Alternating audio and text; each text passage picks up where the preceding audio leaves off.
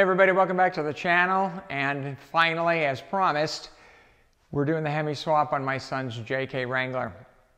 Now, I'm not gonna go over the video of showing the disassembly and removal of anything.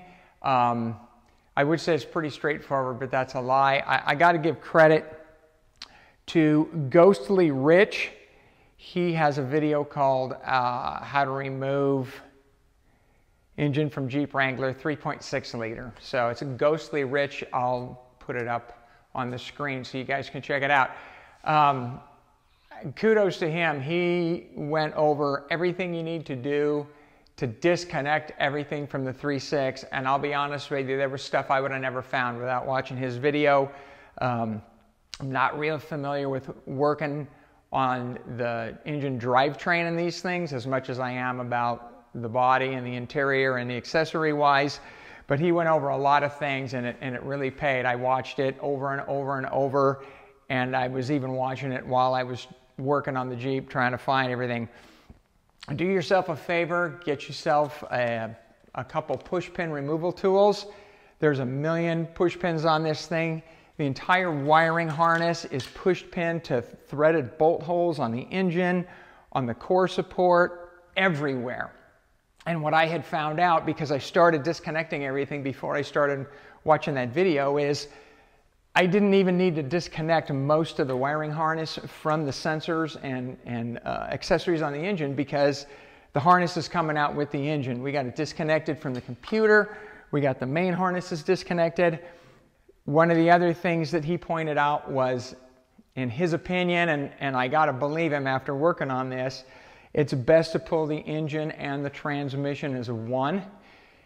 If you are doing the Hemi swap and you have the automatic like we do, you're going to have to change the bell housing on the front of the transmission anyway. So I believe, just as he said, it's easier to pull it out as one unit. But by saying that, we, I did take off the transfer case. Uh, he, he showed that it's too heavy, it's too rear end heavy with the transfer case on there, and the engine wouldn't have come out at, at any type of level angle that his did.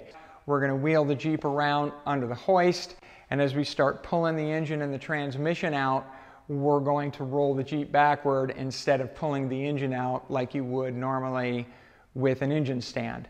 Uh, my son has bought a, a Jeep Hemi swap kit. Uh, it's from a company called Dakota Customs. It was, it's, um, it's customizable. You call them, tell them what you're doing, tell them what transmission you have, tell them what any other things that you're going to do. It's, it's almost 10 grand. Um, but you think that's a lot of money just to do a Hemi swap and you still don't have the engine.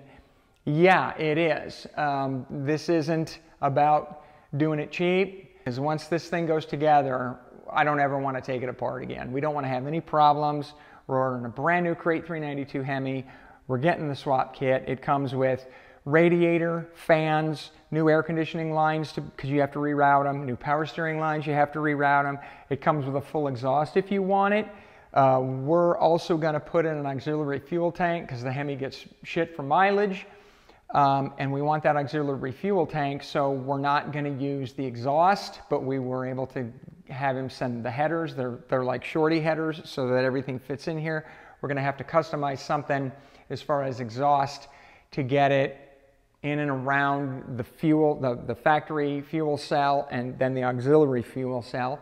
Uh, and by doing that, we're going to have to remount the evap can, do the high mount evap canister, which we, we should have done a long time ago, but we never did. So these are all the things that you need to take into consideration if you're doing this, if you want to make it easy. Um, I had to go out and buy a, a floor mount low profile transmission jack. It lifts 23 inches high. I was able to slide it under the transfer case, chain it down.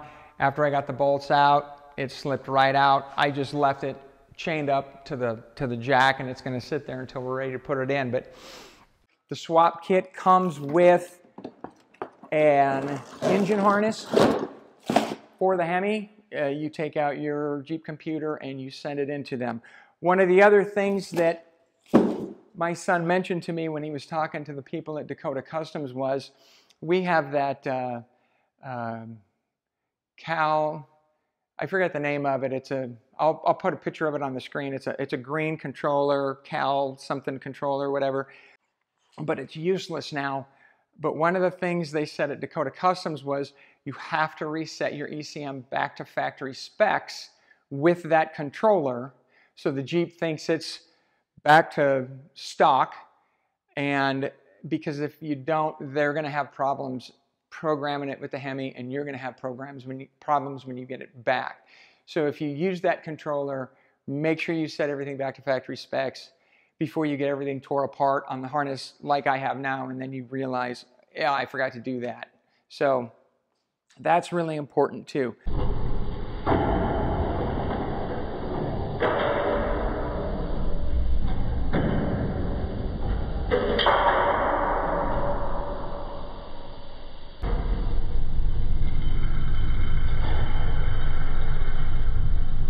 Well, as you can see from the video, that wasn't too difficult. Uh, I was by myself. It kind of sucked doing it like that, but that's what I had to use to do this with. Uh, the Jeep is extremely heavy with no engine or interior transmission trying to push it back. It was difficult at best, but I got it out. As you can see, the transfer case is off and it, it was the perfect angle. When it came out, I have the uh, uh, ratchet strap assembly that was holding the trans out. And as I was pulling the Jeep back and the engine stayed there, it came off the strap and it, uh, it held that angle. It, it didn't hit the ground or anything. The Jeep's obviously too high, but it was a, a great angle. Uh, as you can see, my leveler isn't even in line with the engine. It's side to side, and it, it came out just fine. So swap kit comes with the new bell housing for the Mercedes five speed or Chrysler five speed, whatever you want to call it, that fits the Hemi. So the that kit also comes with pretty detailed directions. I actually went on their website and downloaded it. I've been looking at it for, I don't know, well over a year now. This has been in this this has been in planning for many years. That's where we're at. Um, please subscribe if you want to see more. Just keep watching, and uh, we'll film this as we go along.